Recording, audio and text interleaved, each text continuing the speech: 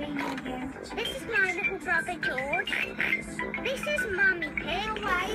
And this is Daddy Pig.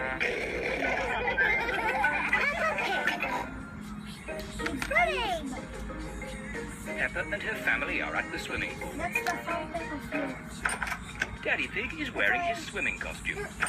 Mummy Pig is wearing her swimming